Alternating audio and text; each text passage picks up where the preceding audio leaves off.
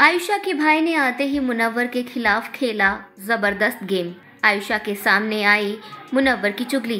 क्या अब आयशा मानेगी अपने भाई की बात? बिग बॉस 17 के घर में आयशा के भाई फैमिली वीक में आए हैं। आयशा से मिलने के लिए आते ही उन्होंने अपना स्ट्रॉन्ग गेम शुरू कर दिया है। यहाँ पर आयशा को उन्होंने बताया है कि तुम जितना दूर रहो मुनवर से उतना ज़्यादा अच्छा है।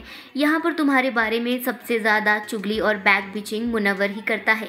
अंकिता से वो तुम्हारे बारे में बात कर रहा था कि आयशा मेरे प्यार में इतनी खोई हुई है कि मैं जब चाहे उसे जब बोलूँ, वो मुझसे शादी करने के लिए तैयार हो जाएगी। आयशा मुझसे इतना ज़्यादा अटैच्ड है।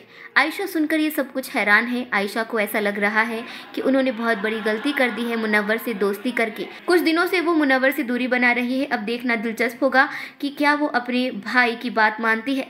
फ़िलहाल ये शो आपको कैसा लग रहा है? फैमिली वीक में सबसे फेवरेट फैमिली मेंबर आपका कौन है? हमें अपनी राय कमेंट सेक्शन में ज़रूर बताएँ और चैनल को सब्सक्राइब करना ना भूलें।